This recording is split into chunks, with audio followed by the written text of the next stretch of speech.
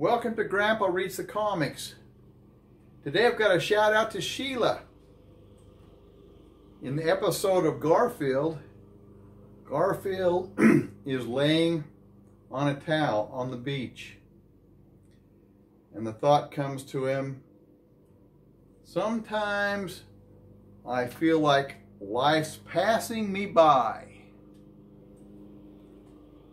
And in the next frame, he's laying down and he says, and I'm fine with that.